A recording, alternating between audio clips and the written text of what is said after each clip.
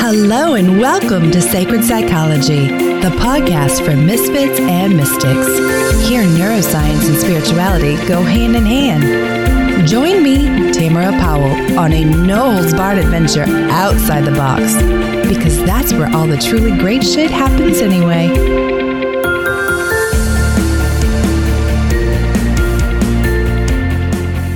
Welcome back to Sacred Psychology. I'm your host, Tamara Powell.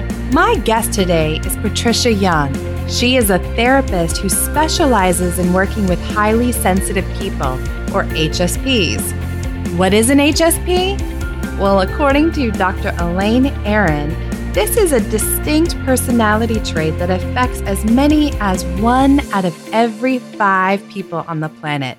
20% of us may meet the criteria for a highly sensitive person. According to Dr. Aron's definition, the highly sensitive person has a sensitive nervous system.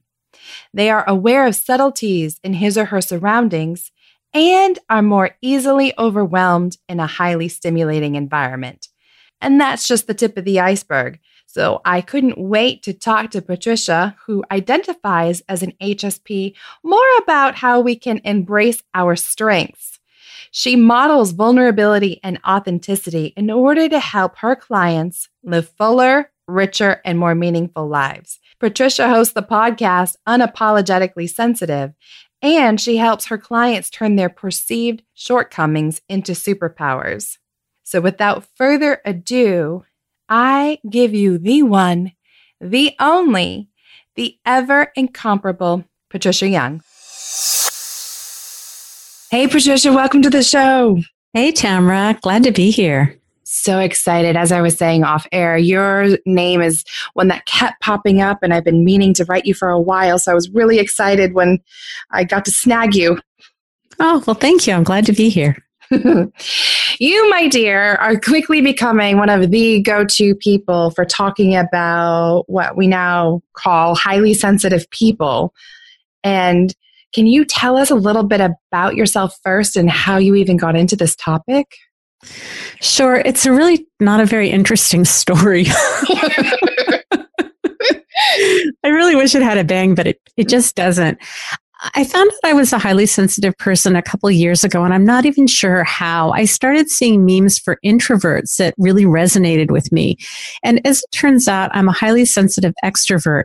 But a lot of the research that's been done, not the research, but a lot of the writing that's been done around introversion includes the traits of highly sensitive people, but that hasn't been explained to people. So if you're listening and you identify as an introvert, there's a really good chance that you're a highly sensitive person.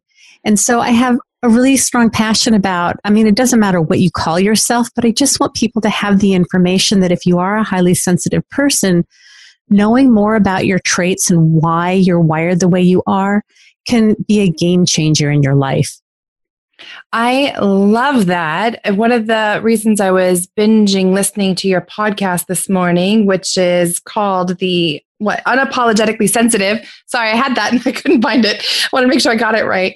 Is because i've heard the, that phrase so many times and similarly to you i think or i remember it was you or laura i didn't love it. I didn't like that title and so i didn't really pay any more attention to it.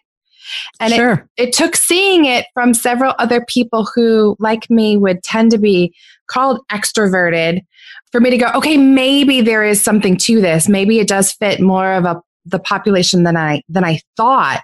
And so one of the first things I wanted to talk to you about is why that is important to understand that it's not just for those who would normally self-identify as introverts.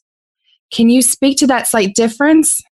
Yeah, I think it's really important because when I thought I was an introvert, I think what happens is, as highly sensitive people, our nervous systems are finely tuned. It's something that we're born with. So it's not due to trauma. It's not how you were raised. It's how we come hardwired. And what I, what I think may happen to many more people than they're aware of is when we are young and we get overstimulated and over aroused in situations and we don't know what it is, we tend to want to shut down and pull back. So when I was identifying with all of these memes and graphics that I saw for introverts, I thought I was an introvert and kind of used that as a label and a way to not really reach out and connect as much as I really needed. And so if you're a highly sensitive extrovert, you still have that need for connection, but you're probably not going to be at concerts, at loud restaurants, in large groups of people. You're going to have more intimate gatherings. You're going to want more depth in your conversation. You're probably going to come home what Dr. Elaine Aron calls as wired and tired. You know, that if you come home and you've been out, it's kind of hard to sort of settle back in before you can kind of go to sleep.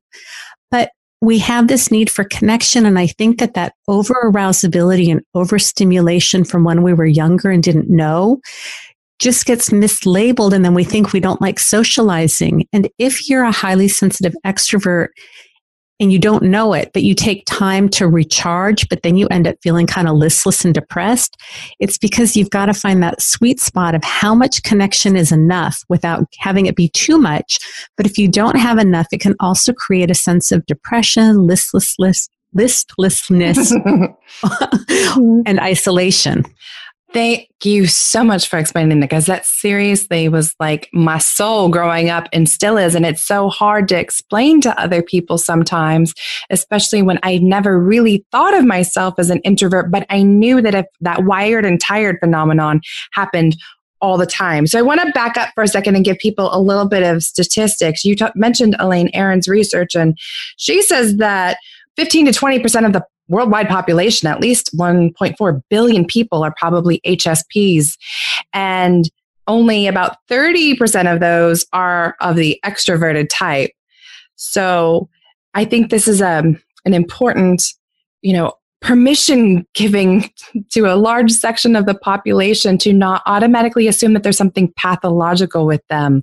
I loved how on your podcast you mentioned that people are like, do I need to be diagnosed with this? And it's not, not something that we therapists you know look for in a diagnosis. But i think if we miss these signs in our clients we're missing a big opportunity to speak to them in their language and not be swimming upstream in treatment. Absolutely. And dr Aron estimates that about 50% of clients in therapy are highly sensitive people.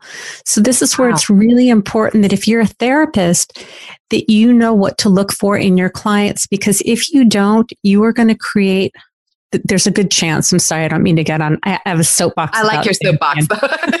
I have a big soapbox about therapy and HSPs. But what's going to happen is most HSPs need more validation, permission giving, and room to take care of themselves. And if you are a therapist that's not an HSP or doesn't know about it, there's a good chance you're going to end up minimizing what your HS client is telling you. And you're going to try and get them to be more normal, quote normal, like the other 80%. It ends up creating a real disservice. And I have quite a number of therapists that I see as clients who have told me that the misattunement that they've had with therapists, with other therapists, when they've been the client, it's just really invalidating. And we get so much negative messaging as it is. And all it takes is having one parent who's not highly sensitive to reinforce the messages of, you know, you're too sensitive, you think too much, you worry too much, you're too picky, you need to get thicker skin. All of those twos mm-hmm. kind of mm-hmm. fill this negative narrative that we end up internalizing and carrying forth until we recognize that the opposite of those are some tremendous strengths. Yeah. And in your recent podcast with Laura, you were talking about how for a lot of us, not understanding that side of ourselves can cause us to really beat ourselves up internally of why aren't we getting better, especially in therapy why are we you could do well for a while and then my experience with hsps is then all of a sudden they have what other people therapists who don't understand it call a depressive episode and think that they haven't made any progress Right. And the truth is, there's something called differential susceptibility. And for a highly sensitive person, if you put them into a positive environment, they're going to do far better than a non highly sensitive person. So if you get a good fit between a therapist and a client, your HS clients, they're the ones that show up on time, that always have their payment, that if you give them an assignment, they read it, they're conscientious, they think about things. Those are your HS clients, most likely. Mm-hmm. And so if you are attuned with your client, they are going to make amazing progress. and I kind of lost whatever else I was going to say. So, so back to you. Progress, but they may still have rough periods or patches, I would imagine. And I think when therapists don't understand the HSP dynamic, that, you know, big feels, just to start with, as one of my HSP clients would say, they can miss it and assume that, oh, we're regressing in therapy or, oh, I didn't make as much progress as I wanted to. Right. Well, there are two things. What I find is that a number of clients come to therapy with wounding from childhood. So this comes from having a parent that was not attuned with them. And again, Dr. Aron's research says that HSPs that are raised in environments where their caregivers are attuned, basically sensitive and or highly sensitive themselves, have really good outcomes. But it's those HSPs that are raised in environments where the caregiver is not an HSP or, you know, there are all kinds of other reasons why our parents aren't attuned to us. Those folks have higher rates of anxiety and depression. And what I often find is that's where the negative messaging comes in. You know, you're too sensitive. You make too big of a deal out of things. We internalize that stuff. So we've got this wounding from childhood mm-hmm. that needs to be healed. And once that is healed, the qualities of being an HSP are incredible strengths. But when people don't know that, they think that it's the characteristics of being highly sensitive that are causing so many problems in their life. And it's really the wounding that needs to be addressed first.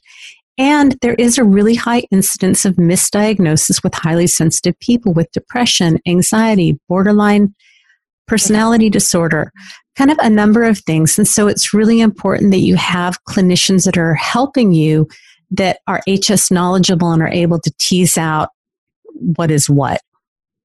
Absolutely. It's been my experience that disproportionate amount of clients who come in either previous diagnosis of borderline personality disorder or they meet the criteria that once we start working with them in a way that helps them understand the HSP framework, they no longer meet the criteria. It's funny how that happens when you right. live authentically and you start to see the strengths in yourself and are no longer operating from that wound we don't see the destructive coping patterns that you might with BPD.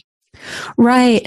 And I think the HSPs that I work with tend to, their history is about they weren't validated in childhood. They overcompensate. And this is true for me. Very intellectual, can kind of reason our way out of a box, but are not as in touch with feelings. So, you know, I've done my work. I'm really in touch with my feelings, but I think as therapists, we often our orientation is based on what works for us and what we need. So what I mm-hmm. find is the folks that find me are the ones that need way more validation around their feelings about getting lifestyles that work for them. There are people though that maybe were in their feelings so much that they need more balance of how to get out of their feelings and how to use some tools to create more balance. And I think it depends on where you're wounding, where your history is, is, you know, if you need to get more into your feelings or more out of your feelings to create more balance. Excellent point. So, can we maybe describe and explain for the listeners what those four big characteristics are that make up most HSPs lifestyle, if you would? Okay, so the first one being depth of processing. What does that mean exactly? Well, these are all terms that Dr. Elaine Aron came up with. And so the highly sensitive brain has a more active insula. I'm not a big brain person, so I'm not going to go too too deep into this, but the part of the brain that helps us enhance perception and increases self-awareness.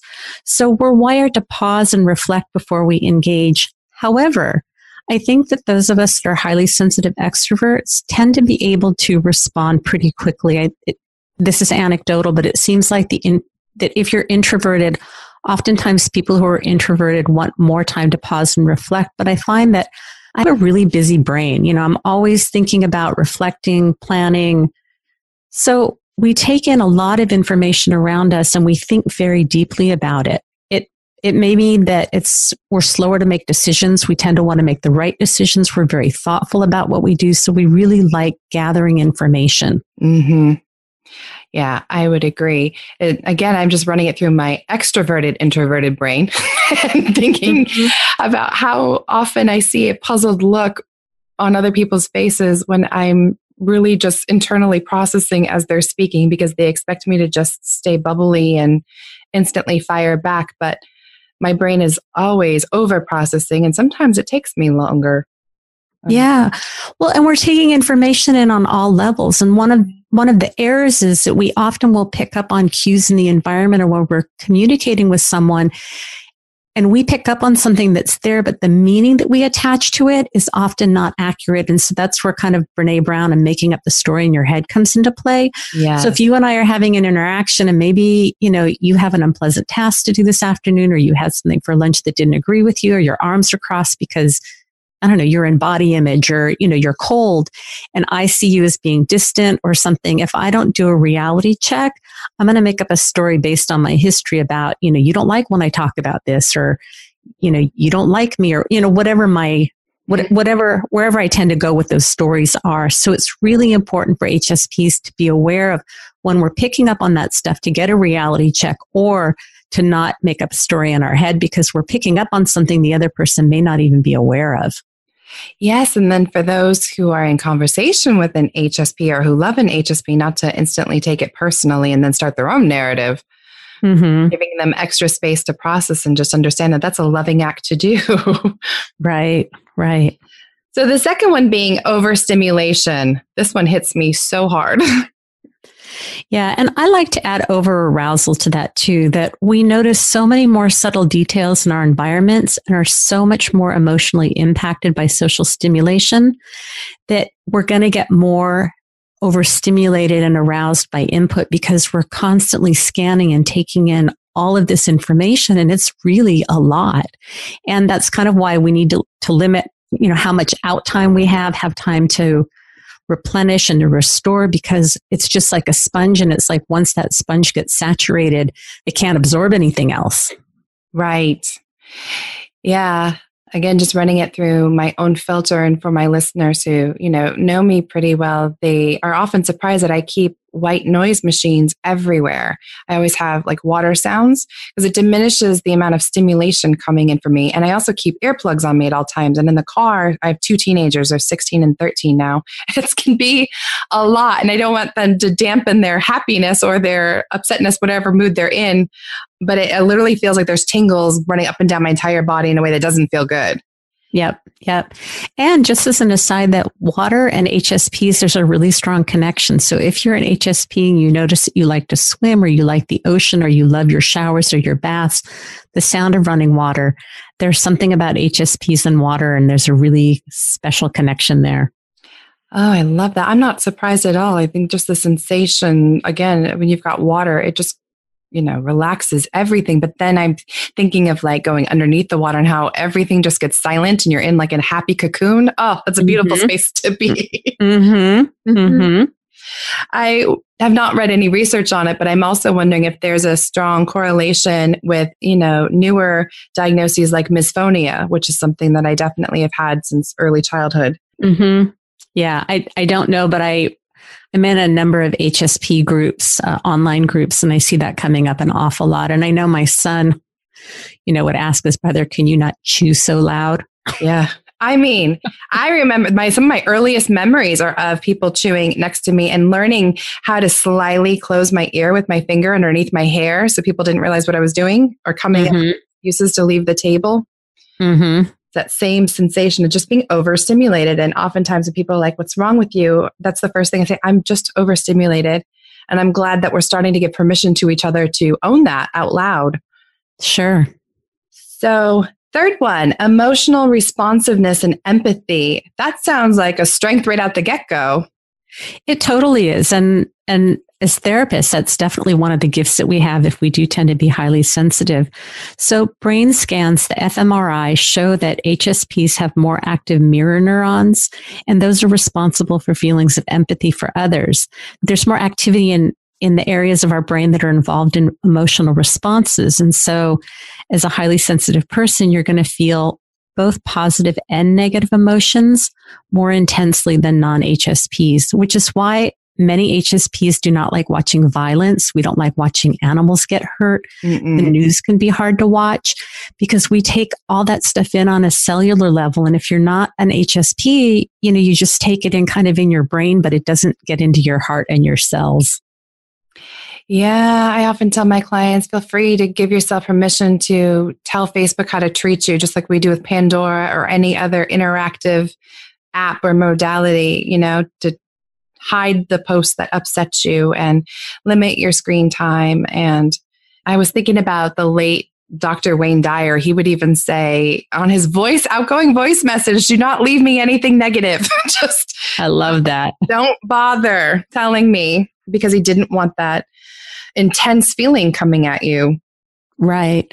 And I think especially with social media, I love, you know, I've muted people for 30 days. I've unfollowed people on Instagram, you know, whatever comes up in my feed. If it doesn't really make my heart sing and nourish my heart, I just don't have room for that. I'm, I'm too easily impacted.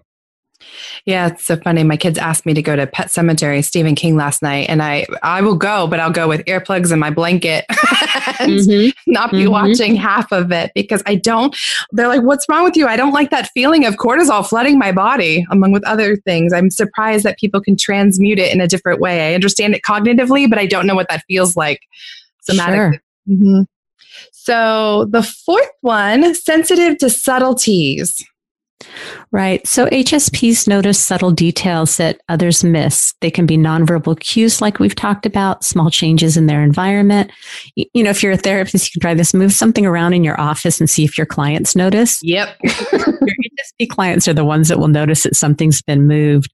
So we're more impacted by strong sensory input, bright lights, loud noises, strong smells, rough textures. I find this a lot with clothes and then with kids you know, kids that only want to wear sweats or only want to wear shorts or long pants or only want elastic pocket, you know, elastic waistbands. Those are all sensory issues that we're very, very sensitive to those things. And so we want to be as comfortable as we can, clothing wise, seams and socks. My son used to have me tie his shoes over and over until it was just the exact tightness. Mm-hmm. At that time, I didn't know what it was. It drove me crazy, but this was one of the areas where I was able to show up as a decent mom and didn't yell at him for it and just patiently retied those darn shoes until, you know, they were finally just right. Yes. So that instantly sparks, I'm sure, because I've heard it for a lot of therapists and parents who have had access to social media for longer than three years, the struggle with differential diagnosis between like Asperger's or the autism spectrum in general. And as we mentioned before, BPD. Would you say that HSP is more of an umbrella term that we then might look for comorbid disorders? You know, I honestly don't know. Both of my kids, my boys are 18 now, and they both have ADHD and they have mood disorders. And so even before I knew about being an HSP, because they had sensory processing disorder as well, there's just a really high comorbidity between all of those things that you've talked about. I'm not sure what the correlation is, but I think that's why it's really important to get practitioners that are able to work with you and to tease out what's going on so that you can really best meet a person's needs based on correct information. Yeah. Yeah, I would definitely agree. And I am I know our field is very torn on personality typology, but I do happen to like the Myers Briggs and even more so the Enneagram. And I just once again think there's a lot of correlation between the NFers on the Myers Briggs, you know, the intuitive mm-hmm. feelers for sure. Yep. And then on the Enneagram, many of the types that tend to look a little more persnickety or big feels, like the four and the one, the individualist and the reformer, I think we see a strong, or fives. Dr. Lourdes Beato is a five, the researcher, and they tend to, yes, be often inter- introverted, but can be extroverted and just what a lot of other people would call picky or sensitive.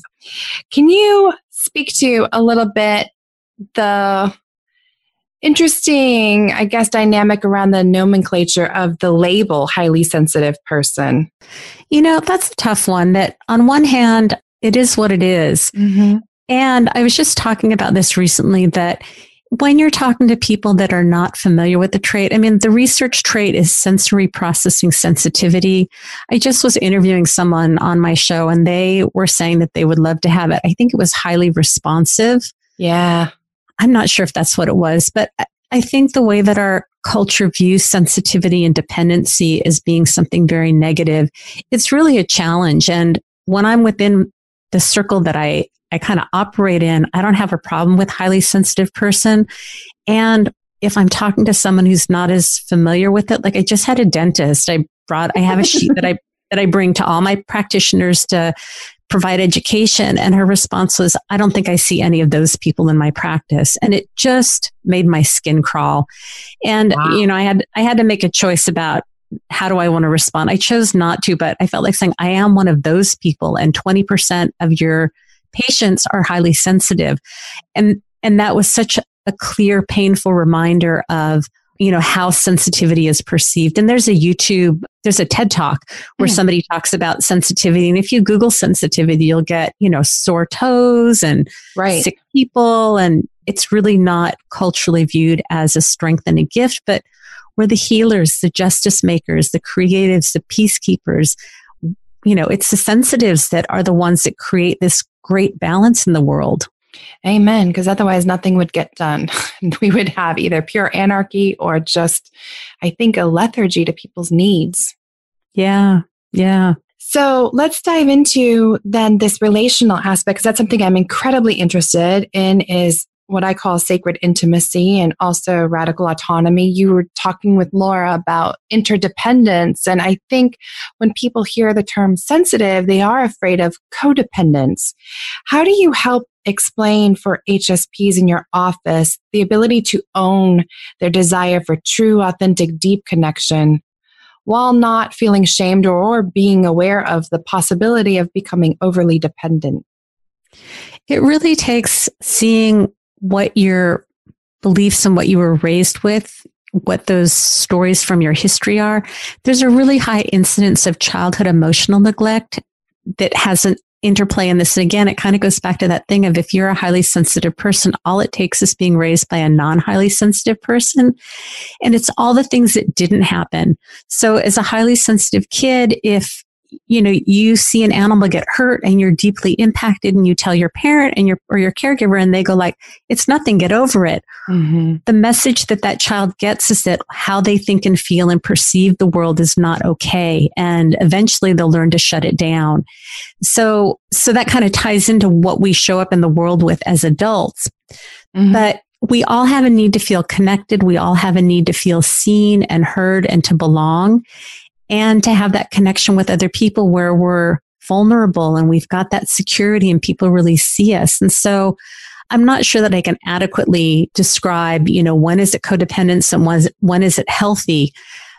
But I think it's something that we all crave. And if it's showing up in your life and things feel out of balance, if you feel like you're the one that's giving all the time and that it's not mutual and reciprocal, mm-hmm. and it can be 90 10 and 10 90, it's just that there's fluidity in the relationship where the giving and the taking goes back and forth. Mm-hmm. It's such a beautiful thing when we allow ourselves to have needs and to allow people to be there for us. That's that's when the magic of the connection happens. Oh, yes. My mind's instantly going to that wounding place and how it's hard for us sometimes on either one or both of those spectrums. You laughingly, and I would agree with you, we're talking about your husband on one of your podcast episodes and how, you know, the same thing that attracts us to each other is also what's going to drive us crazy. mm-hmm. So mm-hmm. someone with, you know, a high need for stimulation will often be with someone with a low need, you know, or we might talk in sex therapy, high desire, low desire. It's like we are subconsciously drawn to each other for that balance, but then it's also a obviously a struggle if we don't understand each other. And one of the things that I get excited about hearing what you just said is you're giving us permission, I think, to own our lane really well. So if you are the person in the relationship that is better and enjoys the call back towards connection or the heart space or feelings, and you're good at processing, giving yourself permission to take up more of that role. Does that make sense? It totally does. And it's funny because um, Laura Carr, who's a licensed marriage family therapist in San Diego, is you've mentioned her a couple times. So I just want to give her a yes, shout out. Thank you. She and I were best friends back in the 90s, and we had a mutual therapist. And because of something that happened with this therapist, we stopped talking for 20 years. And so we just did an episode talking about that. And she and I use an app called Marco Polo. And there was a time when I wouldn't want people to know how often we call it poloing. So when we connect during the day, you know, how often we polo and we polo generally at least four times a day, it's usually much more than that. And there was a time when I wouldn't want anyone to know that because I would feel afraid of being judged or I'm being dependent. And you know what? this connection that we have is so incredibly sweet and powerful. I think it's what people want. And when we've got that childhood emotional neglect and the way our culture talks about dependency, you know, we have this counter dependence where I don't need anybody and I don't want anybody. And we think that that's what the value to be striving for is. And when we have that connection with people and count on people, yes, we run the risk of getting hurt and disappointed and angry and frustrated. And it opens up this opportunity for these amazing connections that we can have with people when we allow ourselves to go there. Yes. And I've been really thinking and meditating and journaling lately about how that authentic connection really boosts confidence. And then it becomes a bi directional feedback loop, right? Because now I'm showing up in the world more authentically. So then people are better understanding me and being drawn in by that magnetic energy. And then I want to do it some more, you know? Yep.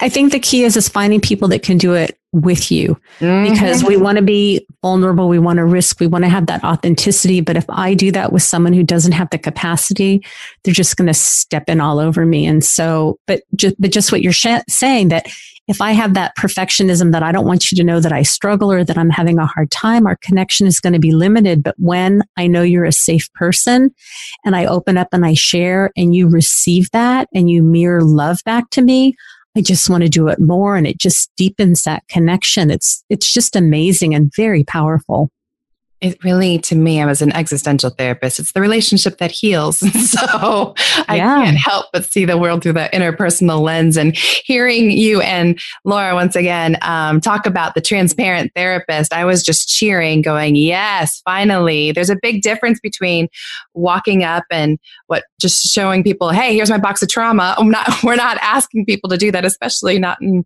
as therapists but being able to self disclose and also show up in authentic vulnerability when it is appropriate and allowing people to get to know us and to be able to relate to us and vice versa.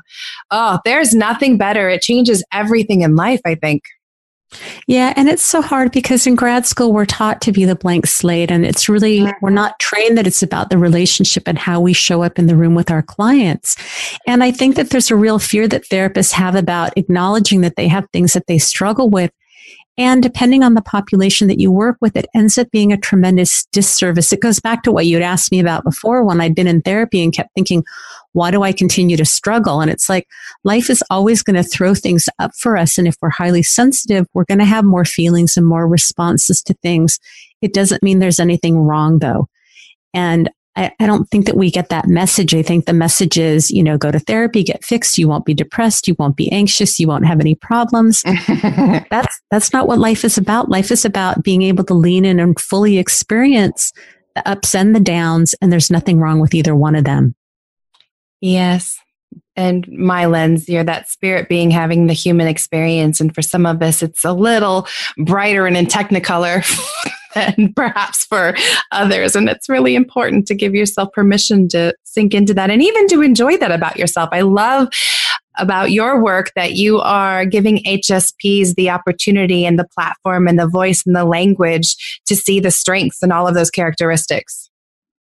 Yeah, we have so much to offer. And I think what our perceived shortcomings are really what our greatest strengths are. And I love when I can work with people and really help change that story about these are all the things that are wrong with me to these are the things that rock about me. And they're actually the same things, just reframed. Yeah. And then when you see that and know that about yourself, that's where I tend to see clients start to purposefully design their life, right? Consciously co create their life. They're perhaps their job description's not fitting them. Perhaps they tend to end up in relationships that don't work because they're recapitulating trauma rather than just owning the fact that certain partners may not be good for an HSP. Right. And those are just two off the top of my head. So, what about your home environment? There's so many ways you could do that. Right, right. And when we figure out how we're wired and what we need to to optimally thrive, what I call the proper care and feeding of the HSP, mm.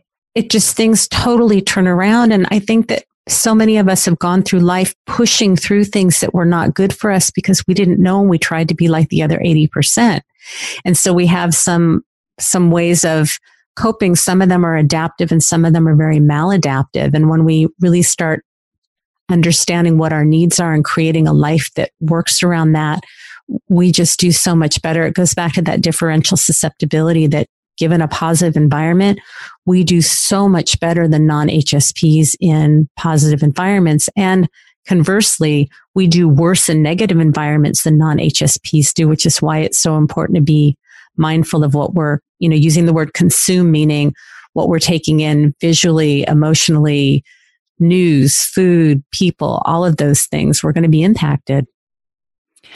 Yeah, that reminds me of the bigger buzz term that I think people are used to is the term empath. And most HSPs that I work with also identify as empaths. And I have been concerned with the trend I've seen on social media of empaths kind of showing up in a victim voice and really being fear based of being overwhelmed, overloaded, the narcissist empath cycle, the codependent cycle.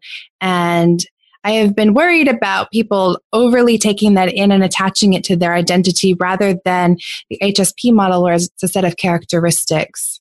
Any thoughts on that? This is just off the cuff. yeah.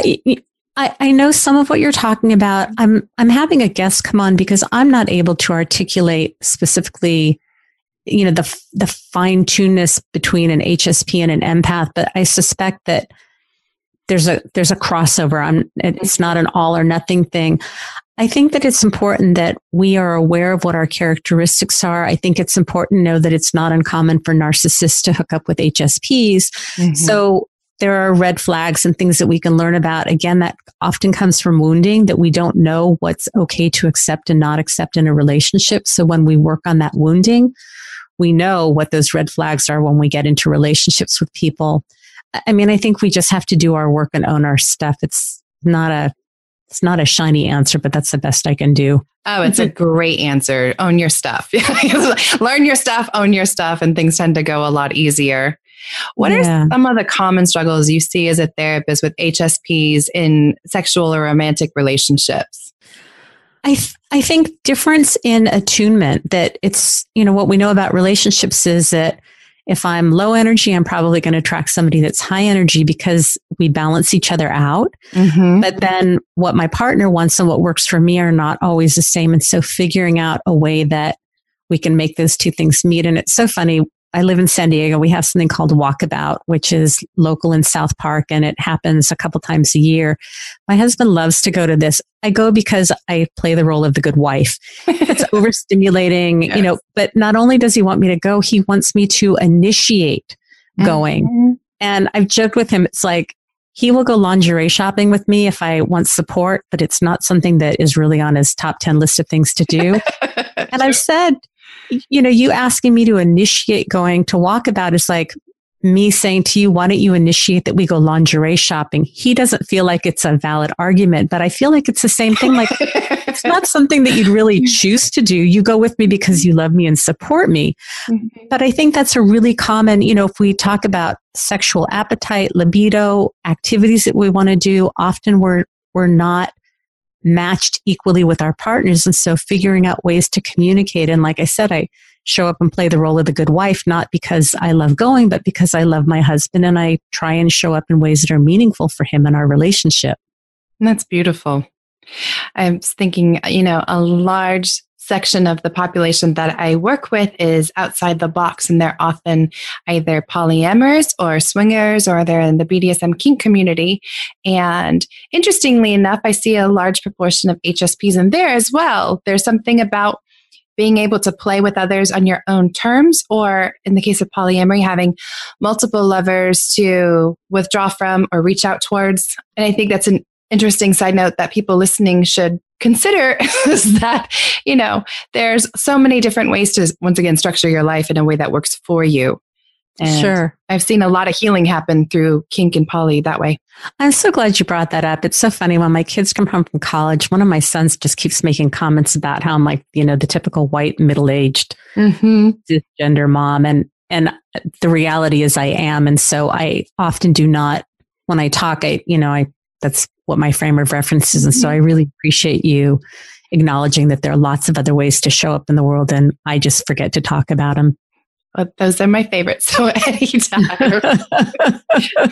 I'm actually the number one provider down here in Pensacola for the LGBTQIA plus plus uh, community, and so it's oh. that I I think about a lot when it comes to HSPs, especially kink. I have you know a few clients who were very much overstimulated or just misunderstood, not well aligned with parents in childhood, and have found um, the kink community to be a way of exercising control, either often ironically as a sub it's interesting you'd think that they would float to the other side and that has been true but there's something about self-binding which reduces stimulation or purposefully playing and or engaging in power play as a way to get some of those frustrating fiery tense feelings out with lots of dopamine. So it totally makes sense though. You know, when you talk about binding, I'm thinking weighted blankets, not in a sexual exactly. term, but mm-hmm. you know, it's the same thing. And and all feelings are emotion and energy. And so we just need to figure out how to play with them so that they move through us and don't get stuck in us. So it makes sense. Yeah, and then for my polyamorous clients, having you know more of an alpha or dominant personality, male or female, on one side, and then having other lovers that they connect with on a more intellectual, emotional basis and understand their big feels. It's just I don't know, it's a really cool thing to watch. Dynamic. Yeah, absolutely. Well, and I was thinking too about, you know, if you're highly sensitive, you're 20% of the population. And then if you're polyamorous or mm-hmm gay or lesbian. You know, it's like we're talking about subgroups and subgroups and subgroups. So, you know, people that feel like they're misfits and they don't they don't fit in, which is eh, true. You know, layers and layers on groups and groups. Absolutely. Mm, that's I think one of the things that draws people like you and I into the therapeutic diet anyway. I tell people all the time it's my favorite puzzle to figure mm. out.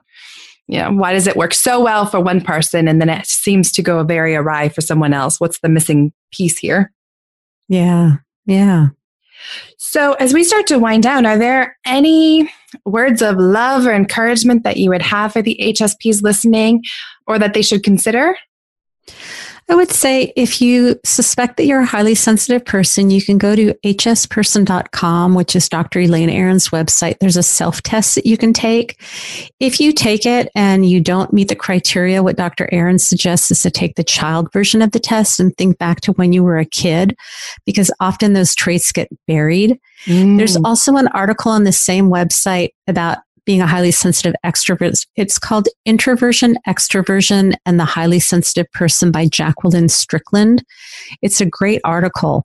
So if you do find out you're a highly sensitive person, you want to read and get as much information as you can, and you want to find other HSPs to surround yourself with because we are a minority in the population. We already feel like we don't fit in and have that narrative of there being something wrong with us.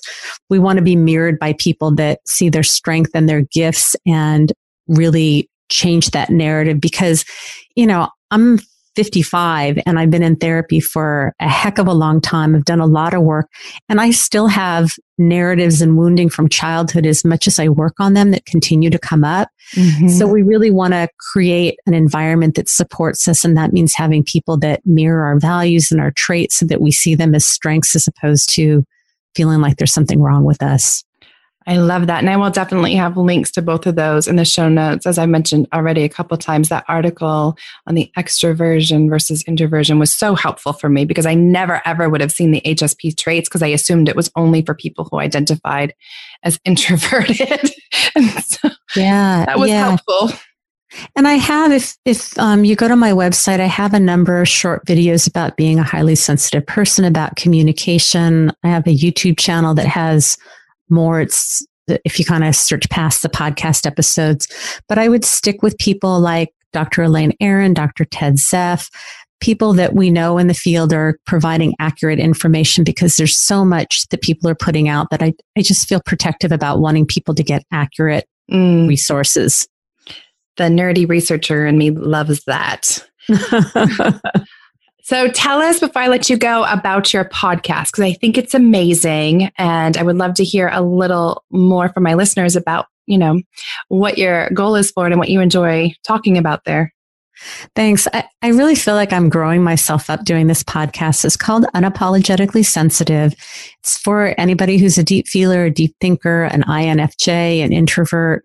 I mean, anybody who feels like they've been told that they're too. And my goal was to create a place where people have a sense of connection and belonging. And because my therapeutic style is really about authenticity and vulnerability and transparency, I show up in a very authentic way. And the bonus episodes tend to be more vulnerable than the interview, the regular weekly episodes.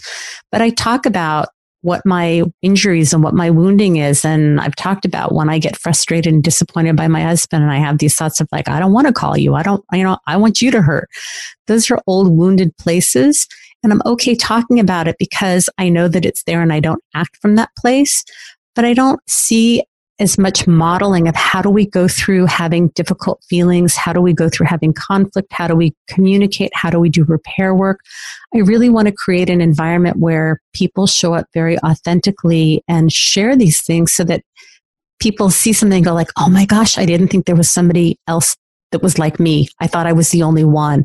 Really want to create a sense of normalization. And we do so much talking about what our strengths are as highly sensitive people and the things that we struggle with. Those, they're both very important, but I want to have a place where we can role model in a really healthy, fun, empowering way. And I just adore you for it. You are such a treasure. I think I was listening, you know, as a fellow podcaster to your many episodes and going, oh my goodness, it was a good challenge to me because I oftentimes do worry about you know, waving that freak flag a little too high. I already, you know, mm-hmm. get hate mail from other therapists at times that are like, what are you doing? That self disclosure piece. So it was very healing for me, even to hear you and, and sometimes you and Laura talk about that transparent therapist side of you. So I just want to say on the air, thank you. Thank you for being you. Thank you for the work that you're doing. Um, and thank you for giving some of us other outside the box therapists permission to show up in a more authentic and vulnerable way. Well, thank you. And I commend you too for the work that you're doing with your podcast and the platform and the things that you're talking about. You're paving the way and creating safety and permission for people to learn about things that they might not be able to learn about. So you're mm. you're doing the work too. Good job. I'm grinning ear to ear, sister. I will have a link to where you can go hang out with Patricia. You are in the California area, is that correct? I am. So for those who are listening who are in that area and would like to hop on her physical couch, they can do so. Or you also do uh, teletherapy, don't you, within the state of Florida or Florida, California? California. And then I'm going to be, can I pitch something? Yes, please. So I'm in the process of working on creating some online specialty groups for highly sensitive people. So um, I'm hoping by the end of the month I'll be able to roll them out. They'll run for a couple of months online so that people that can't afford maybe to meet with me in California or can't afford my my full fee, this will be more affordable and you'll be building a community with other people over the course of a few months when we meet for these specialty groups. Oh, how wonderful. Yes, please keep me posted on that. Um, yeah, and that's for people all over the world, all over the United States. It's going to extend beyond California. Fantastic. Well, yeah. again, thank you so much for this time. And we may have to do this again sometime.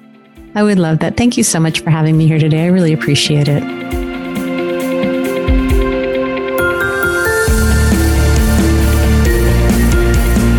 For listening to the Sacred Psychology Podcast. I pray you found some inspiration and empowerment to go out and make this life the most fulfilling possible. You can follow Sacred Psychology on Facebook and YouTube.